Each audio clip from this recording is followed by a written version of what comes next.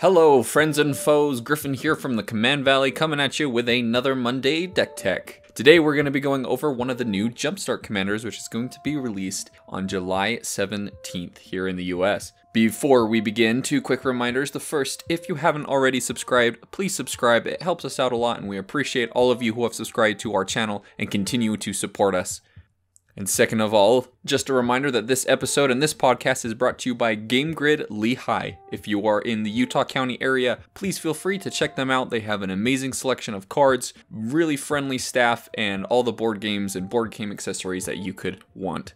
So without further ado, let's jump into it. The commander that I have decided to build today is obviously the one that is Azorius. It's Inniaz the Gale Force.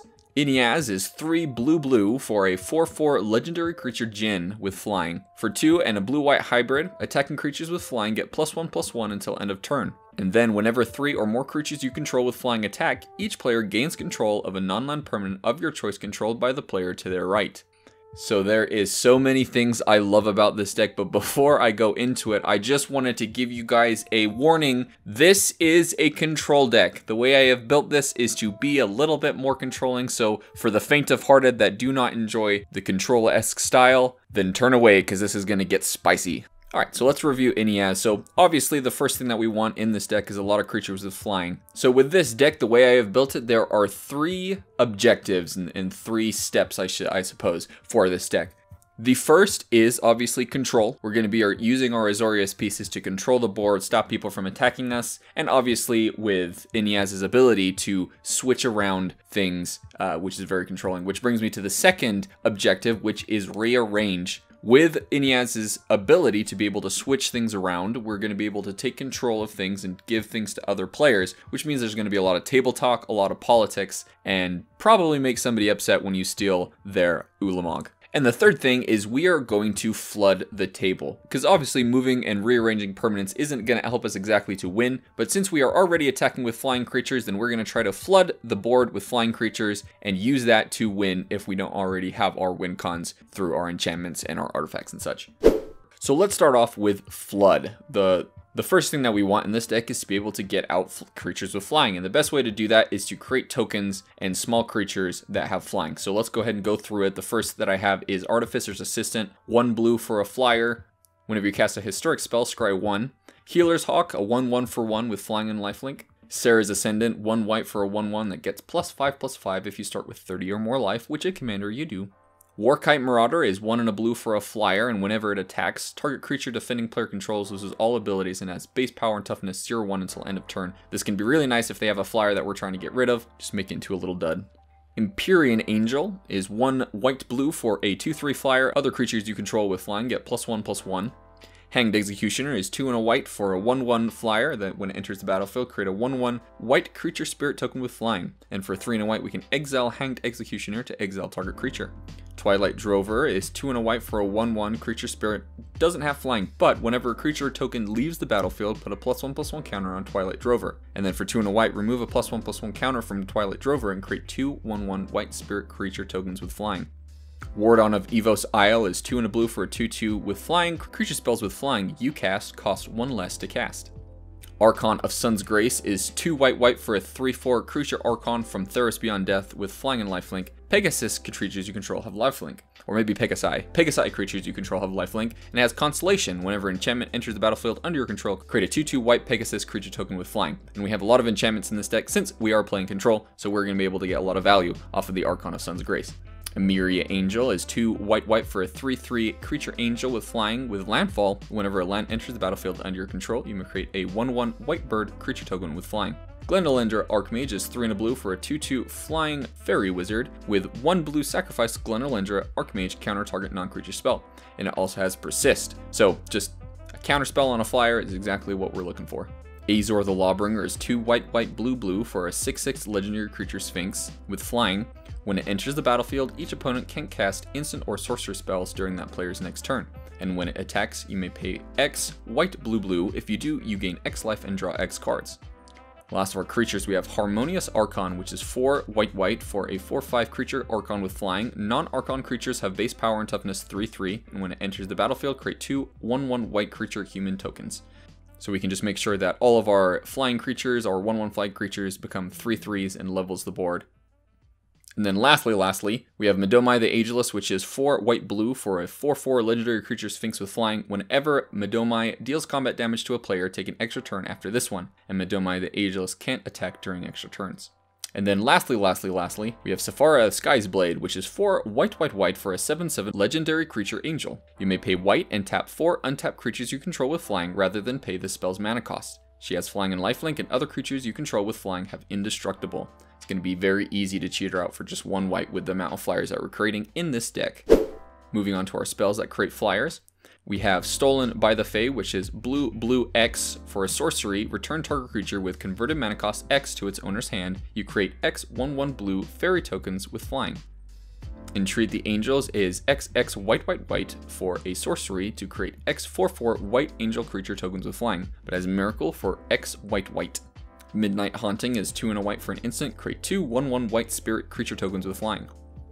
Migratory Route is 3 white blue for a sorcery that says create 4 1 1 white bird creature tokens with flying and also has basic land cycling for 2 generic. Spectral Possession can be cast for either white white white or 2 generic per white. For a sorcery, create 3 1 1 white spirit creature tokens with flying. Triplicate Spirits is 4 white white for a sorcery with Convoke, put 3 1 1 white spirit creature tokens with flying onto the battlefield. And then at our tier end, some of our best token makers that can also count as our win cons. We have Devout Invocation, which is 6 and a white for a sorcery.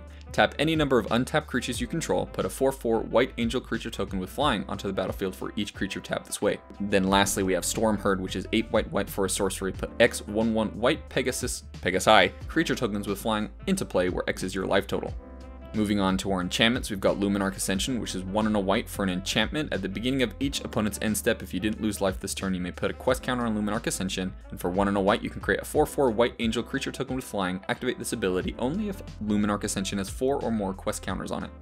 Then finally, we have Divine Visitation, which is 3 white white for an enchantment. If one or more creature tokens would be created under your control, that many 4-4 white angel creature tokens with flying and vigilance are created instead. It doesn't necessarily create us flying creatures, but it does turn our 1-1 flying spirits or Pegasus into 4-4 angels. Alright, so say we're playing a game and we've ramped and we've casted some flying creatures and we're ready to cast Inniaz with three or four flying creatures. Now what are we going to do? So let's move on to the second one, which is rearrange. Because Inniaz doesn't have to be attacking, in order for that trigger to go off, that means even if we have three flying creatures, that means if we have three flying creatures, when we cast Inniaz, we can get that ability right away when going to combat. The second thing is that effect happens before damage is taken, so you can rearrange some flyers if you're trying to hit somebody. And the third thing is, and this is my favorite, this is the absolute favorite thing about this effect, is that it does not target any permanent, which means you can take things with Shroud or Hexproof. If they're commander, specifically, Obviously, one of the first things that you might think of when you see this effect is to just rearrange everybody's commanders. That is a harsh thing to do and is, is very, very mean, but you can do it, and even if they have hexproof from a Lightning Greaves or a Swiftfoot Boots, you can still move them around. But let's look at some other things that we want to rotate around. Since we get to choose the non-land permanents, and we can move him to the player only to our right. The person to our right is not going to feel great with the stuff that we're giving them, and the person to our left is not going to feel great about the things that we're taking from them. So the person who's not either on your left or right is safe for now. So what shenanigans are we going to pull off with this? So in blue and white, we have some interesting enchantments and also artifacts that we can put onto our table and move them to the next player and cause damage or control them in a way that hurts. So first up, we've got Grid Monitor, which is 4 generic for a 4-6 artifact creature. You can't play creature spells. So we cast the Grid Monitor, we attack with all of our creatures, we move the Grid Monitor to the right, the player on our right can no longer cast creature spells until it is gone. Lich's Tomb is 4 generic for an artifact that says you don't lose the game for having 0 or less life. However, whenever you lose life, sacrifice a permanent for each one life you lost. So this is very brutal. If our opponent onto our right does not have flyers and we are swinging at them, we've casted the Lich's Tomb, we move it to the player to our right, we hit them with our flyers, and they have to sacrifice that many permanents. That's rough. I love it. A new card from M21, 9 lives, which is 1 white white for an enchantment with hexproof. If a source would deal damage to you, prevent that damage and put an incarnation counter on 9 lives. When there are 9 or more incarnation counters on 9 lives, exile it, and when 9 lives leaves the battlefield, you lose the game. Now, when I first saw this, I thought this is an awful enchantment, because it really is, but in this deck, this shines. We cast it for 1 white white, let's say we have 9 flying creatures, and we send them all at somebody, and we send them all to the player to our right. We move the 9 lives over to them, they take 9 damage, 9 lives gets 9 incarnation counters, gets exiled, and they lose the game immediately. Now, we don't necessarily have to attack them with flyers. Other people can attack that opponent, or we can mass bounce to return all these enchantments back to our hand and cause them to lose the game that way. Illusions of Grandeur, which is 3 in a blue for an enchantment with a cumulative upkeep cost of 2 generic. When it enters the battlefield or comes into play, gain 20 life. When Illusions of Grandeur leaves play, lose 20 life. Effects that prevent or redirect damage cannot be used to counter this loss of life. So you already know what we're doing. We're going to cast Illusions of Grandeur, gain 20 life, move it to our opponent, and wait till it gets removed for them to lose 20 life. Thought Lash, which is one of my personal favorites, which is 2 blue blue for an enchantment with a cumulative upkeep cost of remove the top card of your library from the game. If you do not, remove your library from the game and bury Thought Lash.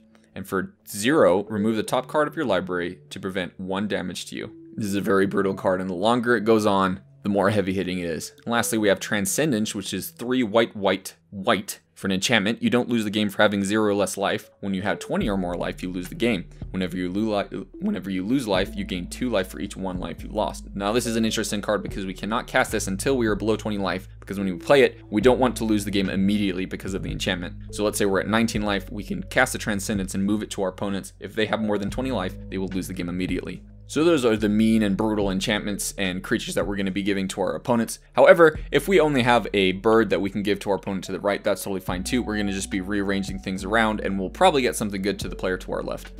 Now let's talk about the third thing, which is control. Now we're already pretty much controlling with the way that we are rearranging the board, but we also have ways of stopping for our opponents from trying to target us or attack us. First up, we've got Kira, Great Glass Spinner, which is one blue blue for a 2-2 legendary creature spirit with flying, and creatures you control have, whenever this creature becomes the target of a spell or ability for the first time in a turn, counter that spell or ability. Blatant Thievery is 4 blue blue blue for a sorcery for each opponent gain control of target permanent that player controls. Expropriate is 7 blue blue for a sorcery with Council's Dilemma. Starting with you, each player votes for time or money. For each time vote, take an extra turn after this one. For each money vote, choose a permanent owned by the voter and gain control of it. Exile Expropriate. First part of our control is making sure that our opponents can't attack us. We have Ghostly Prison, which is 2 and a white for an enchantment. Creatures can't attack you unless their controller pays choose generic for each creature he or she controls that's attacking you. Propaganda is 2 and a blue for an enchantment. Creatures can't attack you unless their controller pays 2 generic for each creature they control that's attacking you. Dissipation Field is 2 blue blue for an enchantment. Whenever a permanent deals damage to you, return it to its owner's hand. Magus of the Moat is 2 white white for a 0-3 creature human wizards. Creatures without flying can't attack. And then let's go ahead and move on to the non-combat damage related control. Obviously we have Azor, Glen Elendra, and Medomai that are very control S-style cards. In our creature slot, let's talk about some other enchantments. So let's talk about one of my favorite enchantments. Mind's Dilation for 5 blue blue. We have an enchantment whenever an opponent casts his or her first spell each turn, that player exiles the top card of his or her library. If it's a non-land card, you may cast it without paying its mana cost. And then obviously, since we're playing control, we're going to be playing a lot of counter spells. So besides Glen Elendra, we have Swan Song, which is one blue for an instant counter target enchantment, instant or sorcery spell. Its controller puts a 2-2 blue bird creature token with flying onto the battlefield. Arcane Denial, one in a blue for counter target spell. Its controller may draw up to two cards at the beginning of the next turn's upkeep, and you draw a card at the beginning of the next turn's upkeep. Counter spell, which is blue blue for counter target spell. Disallow one blue blue for an instant counter target spell, activated ability, or triggered ability. Desertion, 3 blue blue for an instant counter target spell. If an artifact or creature spell is countered this way, put that card onto the battlefield under your control instead of into its owner's graveyard. Now I haven't put as many counterspells into this deck simply because we want this deck to be as fun as possible, even for our opponents who are going to be pretty upset at us for moving things around, but it always feels bad when you stack your deck full of 10 counterspells. However, if that is your playgroup and your playgroup is fine with that, then go ahead and load all counterspells you want into this deck. Next up, let's talk about the ramp. We simply just have artifacts since we're playing blue and white. It's hard to find some good mana ramps. So we have Soul Ring, Wayfarer's Bauble, Arcane Signet, Azorius Signet, Cold Steel Heart, Star Compass, and Gilded Lotus. My recommendation, if you don't want the counter spells, I would take out the counter spells and try to add in some more ramp. And then for our card draw, we have Pull From Tomorrow, which is blue blue X for an instant, draw X cards, then discard a card. Mystic Remora is one blue for an enchant with a cumulative upkeep cost of one. Whenever an opponent casts a non-creature spell, you may draw a card unless that player pays 4. We also have Rhystic Study, which is 2 in a blue for an enchantment. Whenever an opponent casts a spell, you may draw a card unless that player pays 1 generic. The Thassa is 2 blue blue for a legendary artifact enchantment. Whenever a creature you control deals combat damage to a player, you may draw a card. And it can also, for 1 in a blue tap, creatures your opponents control attack this turn Fable. Reconnaissance mission is 2 blue blue for an enchantment. Whenever a creature you control deals combat damage to a player, you may draw a card. We also have a couple of very cheap casting cost spells such as Brainstorm, Fact or Fiction, Telling Time, and Portent.